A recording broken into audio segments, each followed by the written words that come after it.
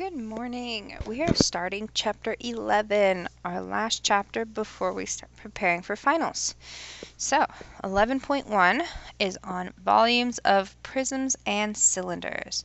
So, our objective students will be able to find the surface area of a prism and students will be able to find the surface area of a cylinder. Um, and we're finding the volume for these ones, not the surface area. So, volume for both of these. Alright, so let's go ahead and take a look at our explanation. We're going to watch this video and then we're going to explain in words how you would find the volume of the prism shown. So let's go ahead and pull that up.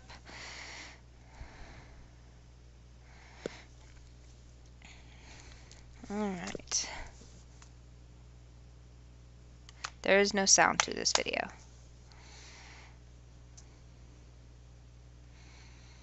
So length times width, this is just a rectangle.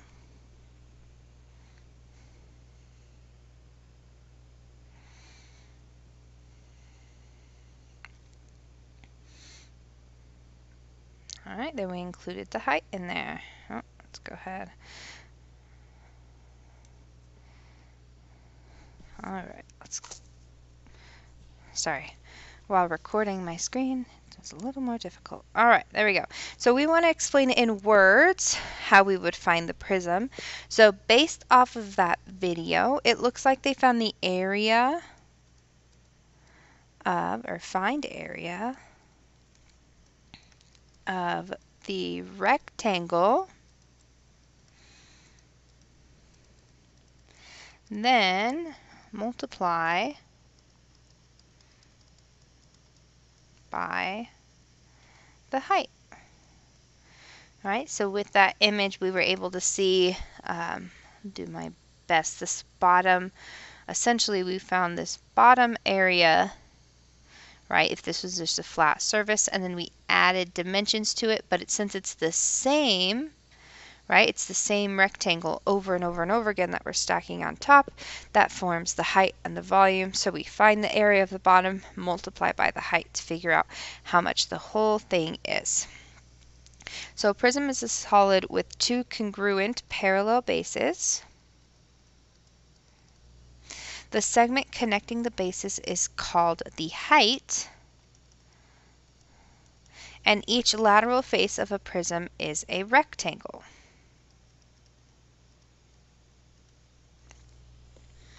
So each face is a rectangle here. If we see, even though we have a triangle, we still have this rectangle for all the sides, right? So we have the rectangle sides and then we have the actual bases on each side.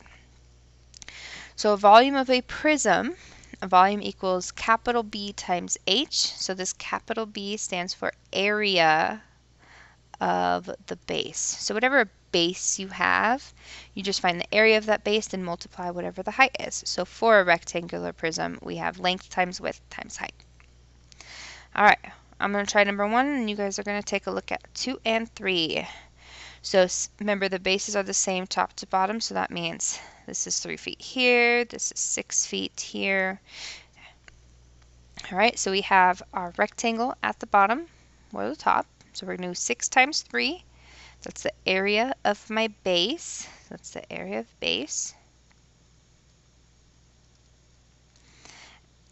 And then we multiply by the height.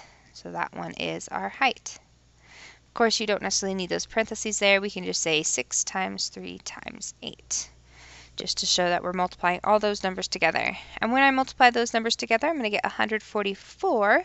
And so my unit is feet, and whenever we're finding volume, it is cubed. So 144 feet cubed.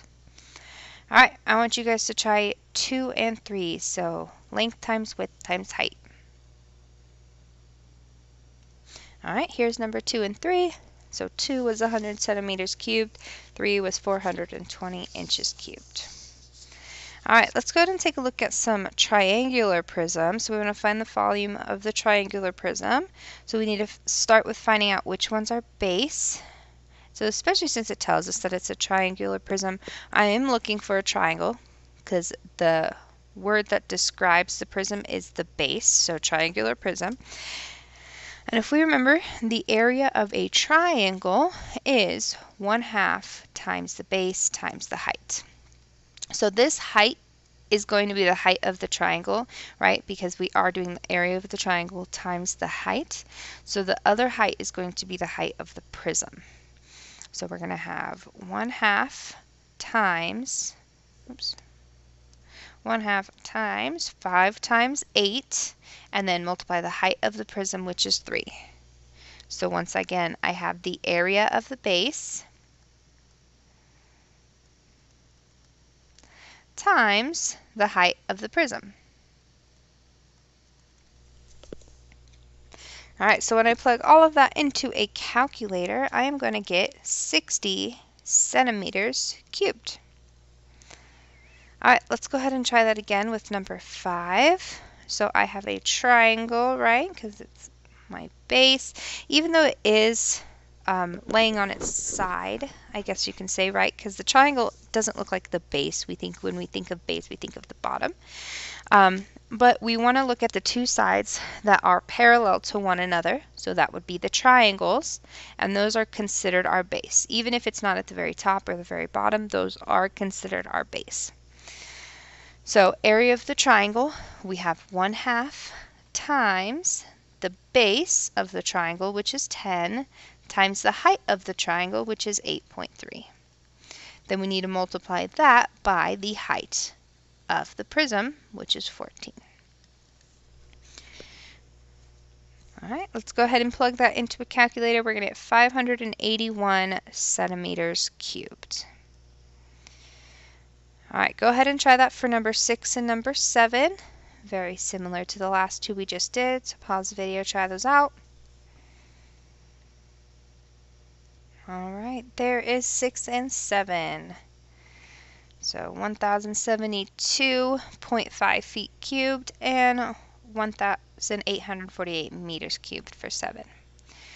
Okay, let's take a look at example 8. A rectangular prism has a volume of 24 centimeters cubed. So we have volume. Find the length or the length and width of the prism is 5 centimeters and 3 centimeters and we want to find the height of the prism. So the volume equals, and so we have a rectangular prism. I'll go ahead and set it up as length times width times height. So it gives us the volume, which is 24. It gives us length and width, which is 5 and 3. And we want to figure out what is the height. So we now have 24 equals 15h right? 5 times 3 is 15. So then we can go ahead and divide by 15 to both sides. And I'm going to end up with h equals 1.6 centimeters. So sometimes we're given the volume and we have to kind of work our way backwards to find a specific variable. All right, let's try that again with example 9.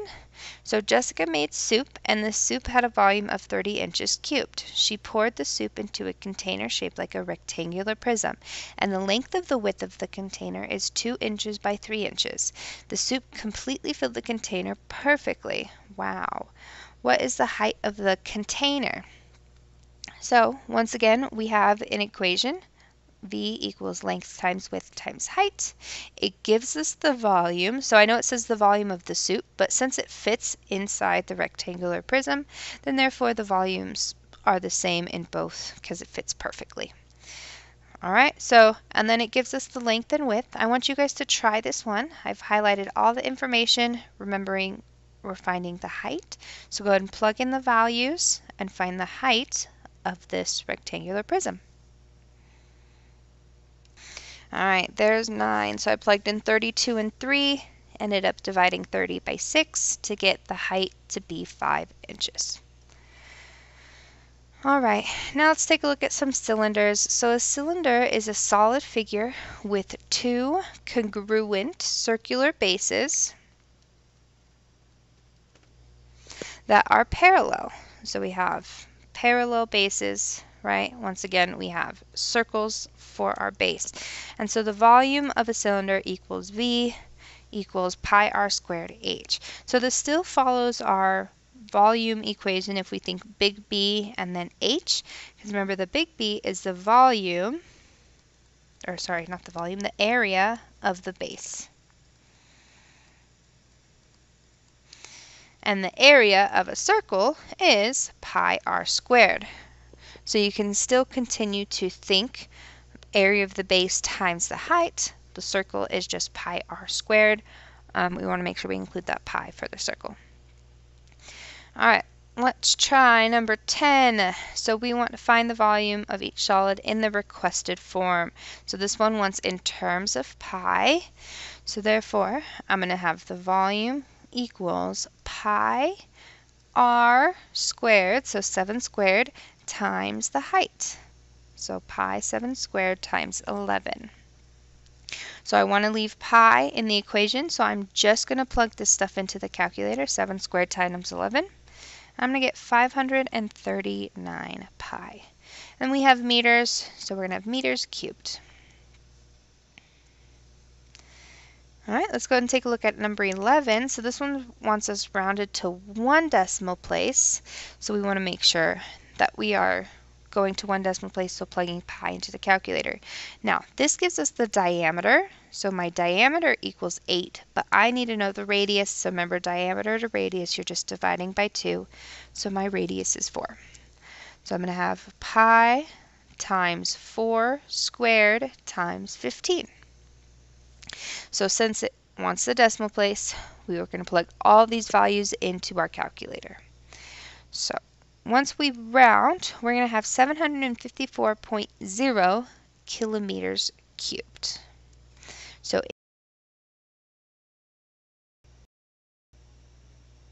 we have 7 point, oops, sorry, not 7 point, 753.98. So since we were rounding to one decimal place, we need to take the 8 and round up the 9. But 9 goes to 10, so since this number goes to 10, that means we now bring up this number, and this is now a 0. All right, so that's how we end up with 754.0. All right, I want you guys to try 12 and 13. Go ahead, pause video, try them out. All right, and there's 12 and 13. All right, let's take a look at example 14, a word problem. So a cylinder has a volume of 100 pi and a height of 4 inches. Find the radius of the cylinder. So it gives us the volume and it gives us the height and we're trying to find the radius. So we have volume equals pi r squared times the height. So we'll go ahead and plug these volumes in. 100 pi equals pi r squared times 4. So my goal is to get r by itself. So I'm going to go ahead and divide by pi times 4 so what happens is they cancel on the right, and my pi also cancels on the left because we have one in the top and bottom. So we have 100 divided by 4, which is 25 equals r squared. Then to get rid of that square, we want to take the square root of both sides, so we get 5 equals r. So the radius of this cylinder is 5. All right, and that's the end of 10.1. Have a wonderful rest of your day. Make sure you ask any questions, uh, rewatch as needed, and we'll see you guys later.